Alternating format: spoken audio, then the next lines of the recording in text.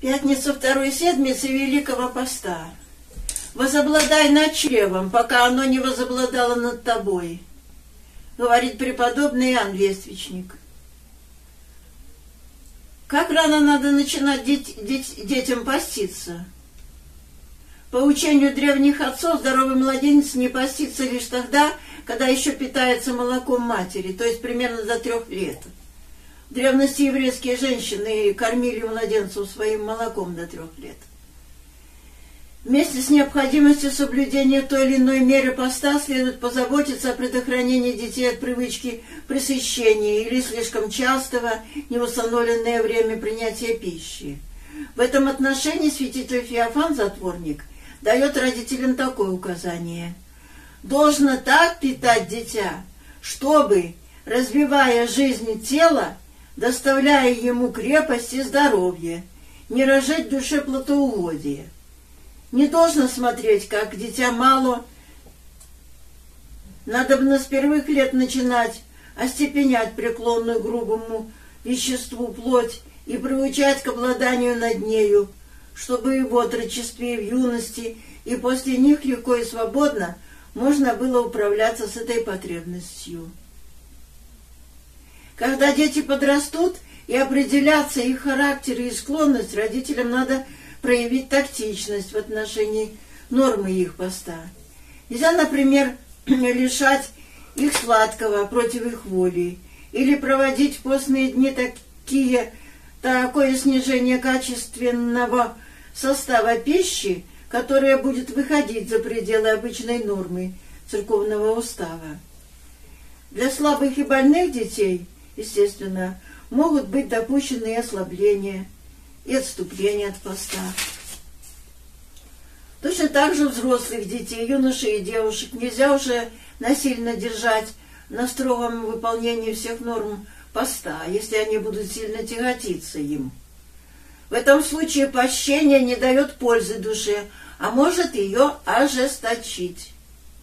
Господь сказал, милости хочу, а не жертвы.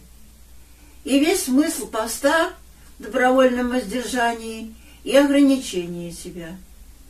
И чтобы для взрослых детей не было тяжело, тяжелы обычные нормы поста, детей следует приучать к посту самого младшего возраста. Пост тела есть пища для души, говорит святитель Иоанн Златоуст.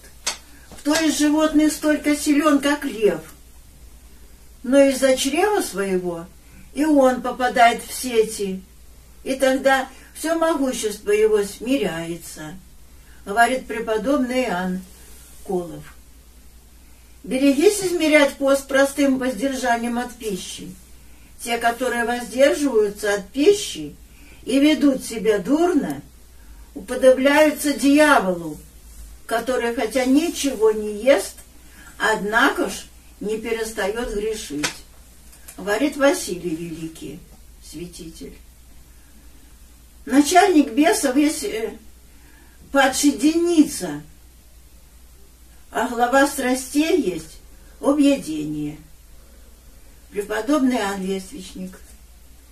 Никогда не может достигнуть совершенной чистоты тот, кто надеется приобрести ее одним воздержанием, то есть телесным постом – если не познает, что воздержание нужно для того, чтобы при усмирении плоти постом легче мог вступить в брань с прочими страстями, говорит преподобный Ава Серапион. О духовном пощении. Пост телесный подразумевает ограничение в пище, употребление особого вида пищи, редкий прием пищи.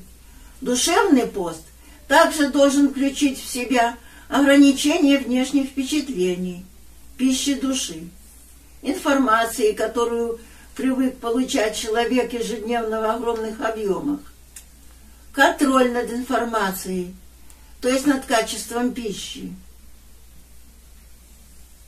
которую получает душа, исключением того, что раздражает страсти, редкий прием пищи, то есть периоды уединения, молчания, безмолвия, пребывания с самим собой, которые дают человеку возможность познать свои грехи и осуществить главную цель поста – покаяние.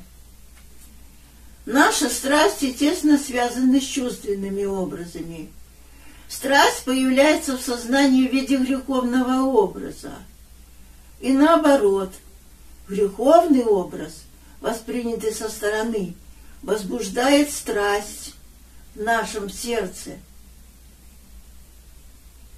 Преподобная Синклитикия называла глаза окнами смерти.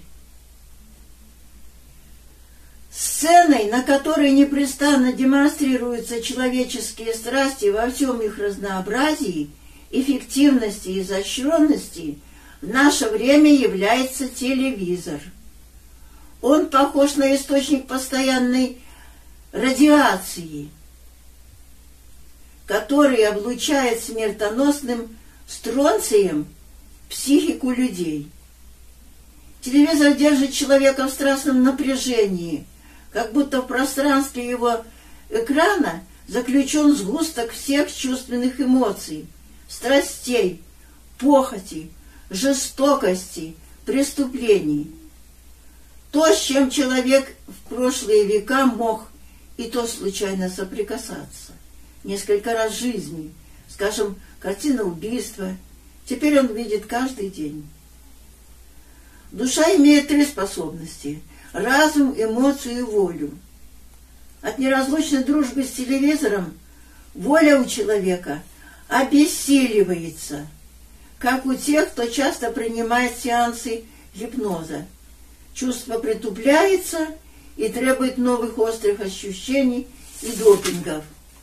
А разум становится порабощенным – сменяющимися друг друга картинами, которые заставляют его жить в каком-то фантастическом мире, в постоянно продолжающейся фантасмагории. У разума две силы – образное и словесное общение. Слишком мобильная, неуправляемая информация развивает – низкую механическую память, но подавляет творческую силу и энергию. Ум становится дряблым и пассивным иждивенцем чужих мнений и идей. Картины, которые человек увидел на экране телевизора, вращаются в его подсознании, всплывают в памяти, мелькают в сновидениях, как призраки. Мышление становится поверхностным, а язык — болтливым. Защитные силы психики истощаются, не будучи способными справиться с лавиной впечатлений. Где место для безмолвия, для сердечной молитвы? Где оно? Человек не видит самого себя. Он живет как будто не в доме, а в театре с непрекращающимися представлениями. Святые отцы говорят о том, что существуют три вида деятельности ума. Это созерцание, рождающееся в безмолвии молитвы, рассуждение и воображение.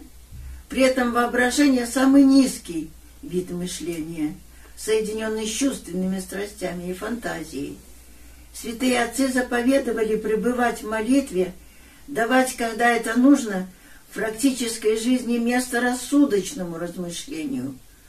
При этом взять его меру и пределы и бороться с воображением, как со своим противником. А телевизор способствует обратному – развитию воображения, подавлению творческой силы ума – и потеря молитвы. Человек, проводящий время поста у телевизора, похож на обжору и пьяницу, который глотает все без разбора, даже не разжевывая куска. При этом считает, что он держит пост по всем уставам церкви –